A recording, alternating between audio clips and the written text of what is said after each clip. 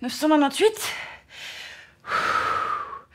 999 et 1000. Geld, argent, moneda,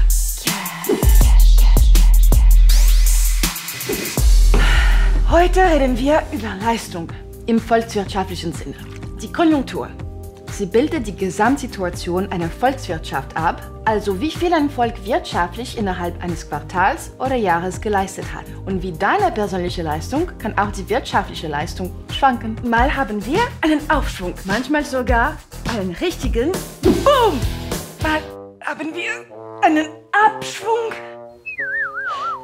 und manchmal sogar eine richtige Krise. Und das ist völlig okay so. You are völlig okay so. Das Leben ist voll mit Ups und Downs, aber unterm Strich ist man immer am Wachsen, genauso wie die Wirtschaft. Mal nimmt das Wirtschaftswachstum zu, das ist der Aufschwung. Die Wirtschaft wächst, Haushalte und Unternehmen arbeiten, haben Geld, konsumieren und produzieren Güter und investieren. Alle freuen sich. Dann kommt der Boom, den nennt man auch Hochkonjunktur. Die Wirtschaft wächst hervorragend. Allen geht es magnifik. Doch irgendwann nimmt das Wirtschaftswachstum wieder ab, zum Beispiel wegen Finanzkrisen, Kriegen oder der Sättigung von Märkten. Das ist der Abschwung oder auch Rezession genannt. Es gibt weniger Arbeit, die Löhne steigen nicht mehr, die Leute werden unsicher und beginnen zu sparen, es wird weniger konsumiert, produziert und investiert. Geld und Güterströme nehmen ab. Und wenn es so weitergeht, kommt die Krise oder auch Depression genannt. Und das sind die harten Zeiten. Doch irgendwann kommt wieder ein Aufschwung, zum Beispiel dank neuen innovativen Erfindungen, und der Kreis schließt sich. Ein solcher Ablauf nennt man darum Konjunkturzyklus. Aber woran misst man das Wirtschaftswachstum? Denken wir zurück. Wirtschaftskreislauf, Geld, Strom, Güter. Genau, das BIP. Das BIP ist ein Maß für die Leistung einer Volkswirtschaft in einem bestimmten Zeitraum. Es gibt den Wert aller im Inland hergestellten Waren und Dienstleistungen an. Ein sehr großer Frankenbetrag. Wenn das BIP wächst, steigt die Konjunktur.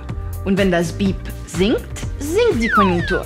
Was aber beeinflusst die wirtschaftliche Leistung, respektive das BIP?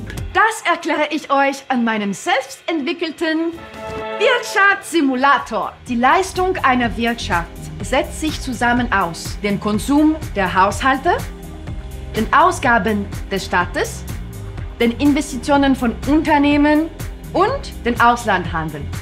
Wenn wir mehr exportieren als importieren, ist dieser positiv. Denn dann verdient die Schweiz Geld im Handel mit dem Ausland. Alle diese Faktoren beeinflussen das BIP und auch sich gegenseitig. Warum?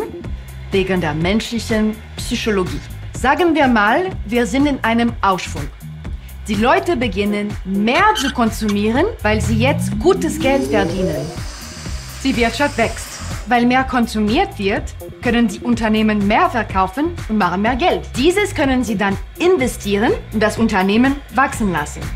Dadurch entstehen Arbeitsplätze und die Löhne steigen. Die Leute haben also noch mehr Geld zu konsumieren. Boom! Hochkonjunktur!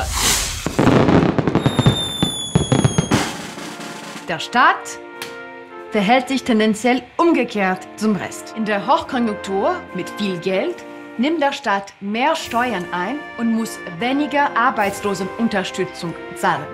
Und das ist gut so. Anstatt noch mehr Geld in die Wirtschaft zu pumpen, baut der Staat Reserven auf. Spare in der Zeit, dann hast du in der Not.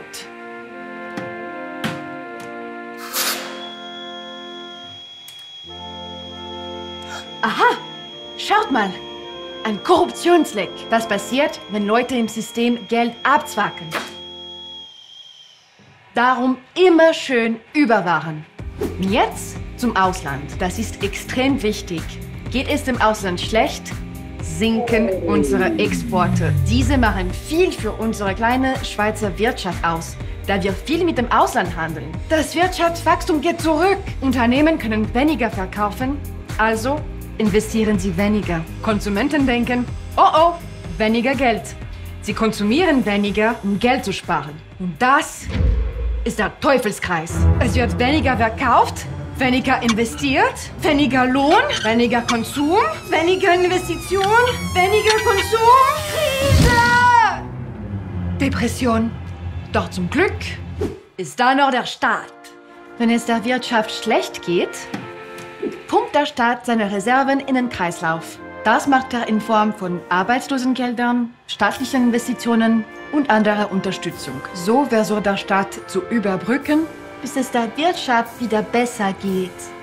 Und das ist die Konjunktur. Hm, Zins und Inflation, das überlasse ich euren Lehrpersonen. Aber jetzt eine Quizfrage an euch. Kann die Wirtschaft ewig wachsen? Mehr dazu in der nächsten Episode mit dem Thema die Nachhaltigkeit. Ich bin Hannah Cash. Make Business, make Money. Bis zum nächsten Mal. Bye.